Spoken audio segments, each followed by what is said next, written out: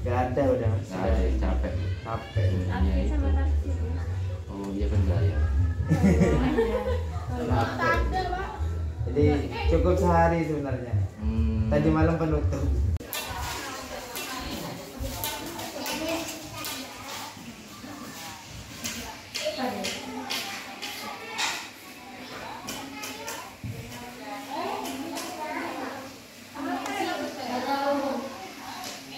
Itu gini awalnya terus itu ini kan ada ini bisa bisa di sini ini namanya halaman. Nah iya. Lagi apa jadinya tuh garis ini namanya. Ini kamu tadi mencet ini apa aja nggak save ya? Nah, ini apa? Tidak bisa lah bang Akhir. Contoh aplikasinya yaitu pertama Google. Tahu Google itu apa? Ya, Google itu adalah mesin pencari. Jadi kamu kalau mengetik sesuatu, misalnya ah, hari ibu kapan, itu langsung ketemu. Tanya lagi, Ahmad Abdillah. Siapa Ahmad Abdillah? Anak nakal, gitu. Anak nakal tapi baik. Salah gitu.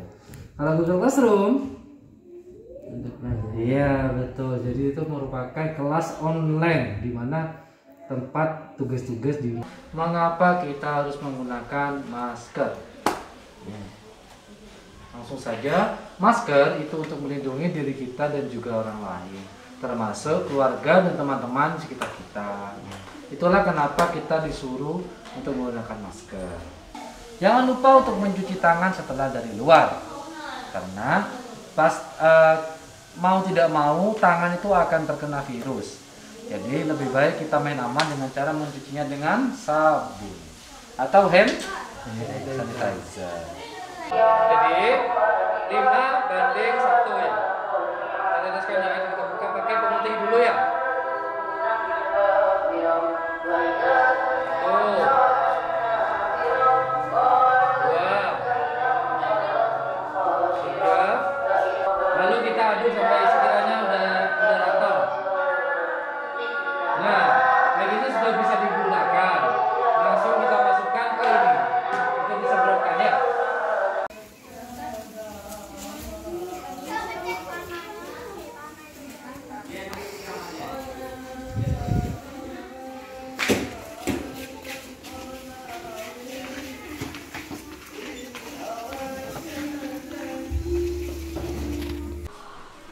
Hidupin. Udah, Beb. Hidupin. Eh. Karena pakai masker. Karena. Dinding, dinding, tembonya, tembonya. Bah, itu loh pagar-pagar ini loh. Nah, semuanya, semuanya. Semuanya dah, kanan ini. Nah, makanya bawa-bawa di atas lagi.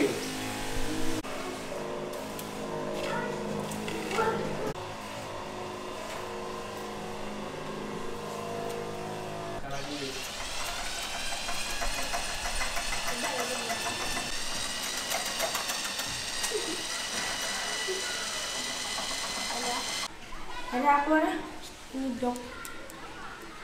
Dok. Dok sama apa? Lihat macan ya bahasa Inggris ni.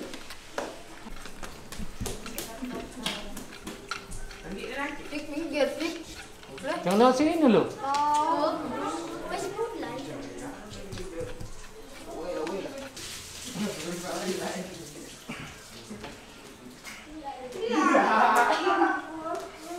Aku habis sakit kali. Wis oke. Kira. Tak. Sehat ini guys ya.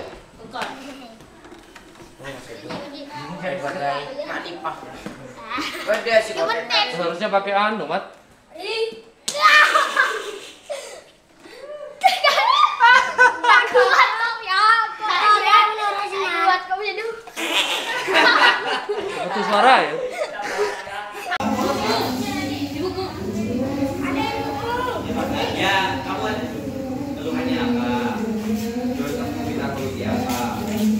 dari katanya ada.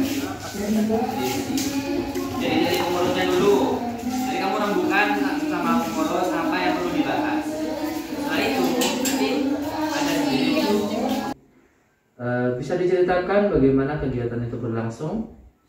Kegiatan berlangsung cukup baik dan lancar, mulai dari bagaimana membuat disinfektan, kemudian bagaimana menyemprotkan disinfektan yang baik dan benar, kemudian diajarkan bagaimana mengoperasikan Microsoft Word dan Google Form, serta difasilitasi olahraga pull up.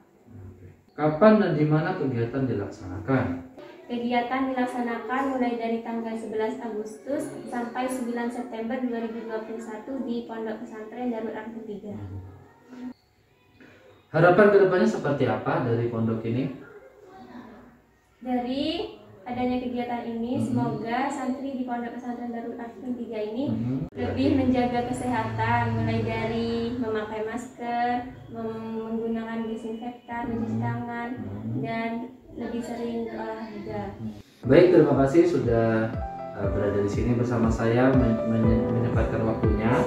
Dan itu saja dari saya. Terima kasih sekali lagi. Selamat